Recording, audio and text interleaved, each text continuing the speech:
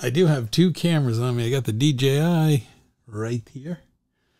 I've got the Canon M6 Mark II, which is hitched to a Rode arm mic similar to this one uh, with a, uh, Sigma 1.6, in case you're interested. I have the Rode NT1, a very old mic running through my Rodecaster Pro. And um, that's my setup. I'm giving you that. Um, it comes a little different view of the actual my setup with the Rodecaster. As we're recording, you can see um, I've got my, and I'll just trigger this up, background music, which is very nice, which I can completely shut off. Over here, I've got my volume mic and I have my controls over here for my headphone. So I can hear what I'm recording. And it's recording to an SD card and you can see my inputs. You can see the levels. You can see that it's coming through and how the left and right channel are recording. Now I have plenty of others. I could hitch directly to a phone, Bluetooth, uh, direct USB in, and four other microphone setups. But clearly, I do not need that. Um, what you will see is I don't need that at all because I have no guests today. I just want to talk about the ease of this thing, switching from one function to another. You know, I can get the clapping in the background of how good this is. You can get a laugh track in there. You can add different things. Uh, it's not really funny, but you can add different. You can add different tunes to the background,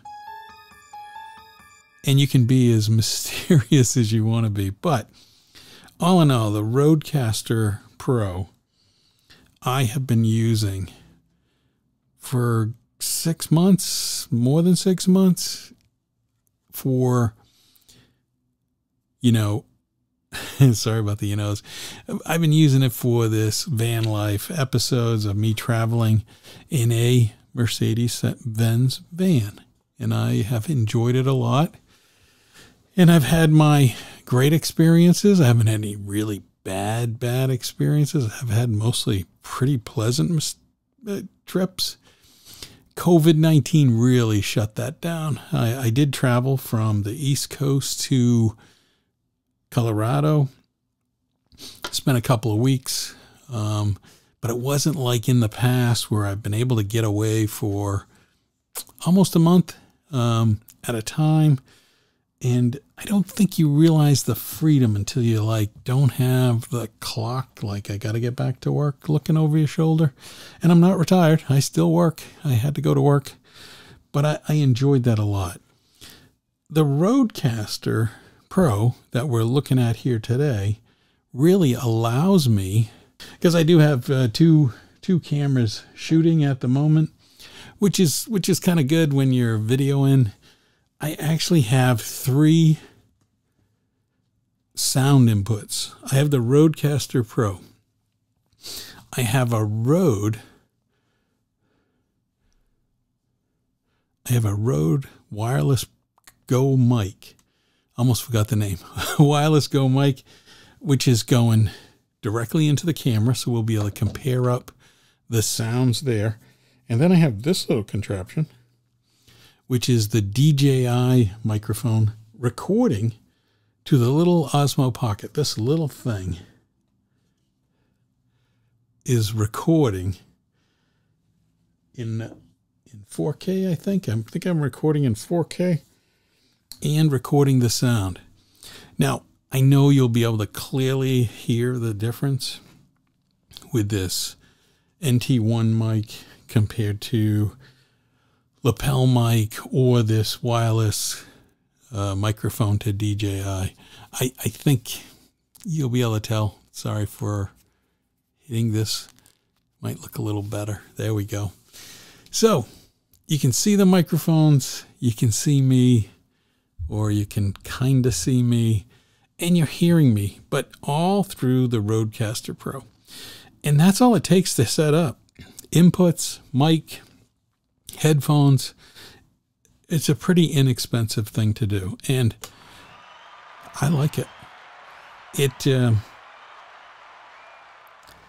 it has other features, and maybe if we just touch base on that, you can change individual mic uh, sounds or what type of mic so it works the best with various microphones.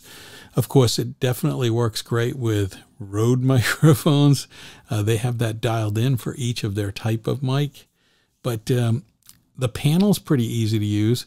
You can USB C link it to your computer and you can download your own sounds and tracks, whatever you want. You can download it into those tracks. You actually have 16 tracks that you can download into. Actually, eight. Let me go eight. I believe there's 16 that you can switch. I haven't even gone that far. And the recording you put in is, I put in a pretty big size card, so I don't I don't take it out and replace it very, very often. So, you know, let in the comments uh, of the YouTube, just email me, tell, ask me any questions you want. I just wanted to say six months later, very easy to use. And wow, you couldn't have any better piece of equipment. Now it is 500, 600 bucks before microphones, headphones, but it is all you need in order to really record, post. There's no other cost. You can actually post podcasts for free, and it, it really, it really is. They have an app that you can actually do your podcast completely on your phone. You just won't have the sounds and the rest that like this has. If you're interested in the what I use, there's going to be an ad in the beginning that explains what I use for posting my podcast to all of the different sites so I can be available on Apple, iTunes, and all the rest. But this episode's about the Rodecaster Pro, and I've gone on way too long about gear, setup. There it is, all in one. YouTube, and a little bit about the Rodecaster Pro. I'll do more on van life, but it's coming. It's winter. It's COVID. It's it's horrible. Hopefully everybody gets a shot.